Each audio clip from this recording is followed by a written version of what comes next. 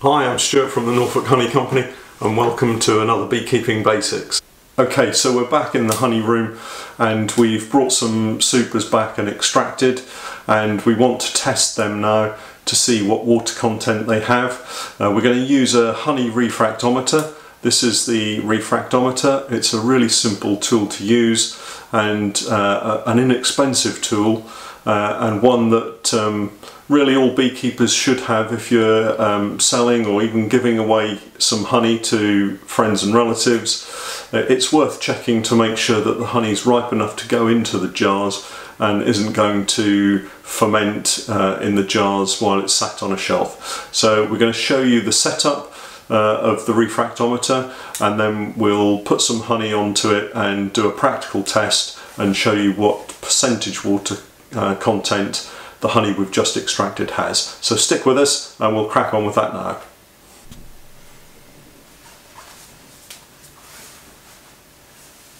Okay, so this is the case that the refractometer arrived in and uh, you get the refractometer, uh, there's an adjustment screwdriver, uh, you've got the um, adjustment fluid for setting up the calibration or calibrating fluid.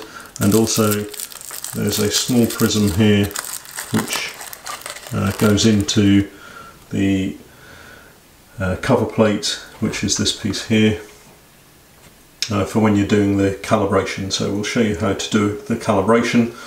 Um, it's very basic um, this is the cover plate which is a, a hinged clear plastic plate it then goes down into the prism itself, which is this section here. Um, you've got uh, the calibration screw on the top here, which um, normally they're set when you first get them, but it's worth just double checking.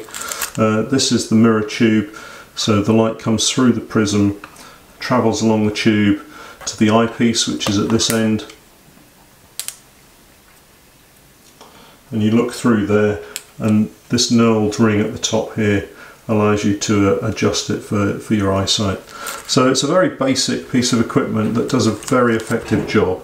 So uh, we'll just get uh, set up and we'll do a calibration and see if we can film that and show you exactly what you get looking through the eyepiece. Okay, so the glass block goes under the cover plate, the light goes through the glass plate, through the prism, along the mirror tube and um, you view it through the eyepiece. Uh, there's a small screw here that you adjust and what I've done is um, turned it um, so that the scale is incorrect and the video that you can see is um, the view through my mobile phone. So you can actually see the scale.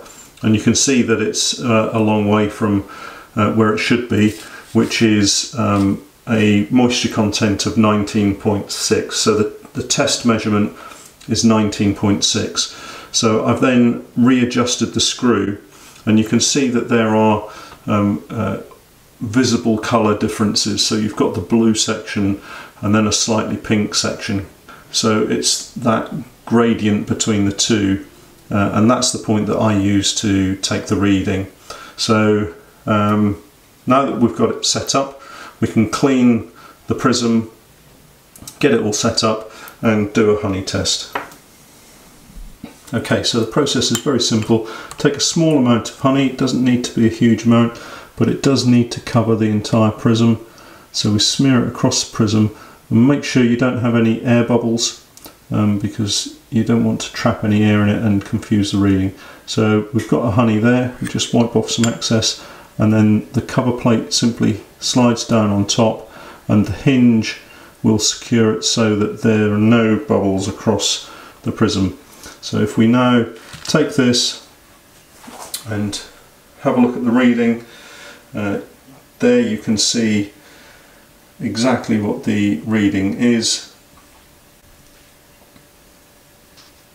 So I hope you found that useful. Um, in terms of the cost of uh, this piece of equipment, uh, you can find it on the internet quite easily. Uh, this morning I've taken a look and found um, many of them on eBay, for instance, ranging from approximately 15 or 16 pounds.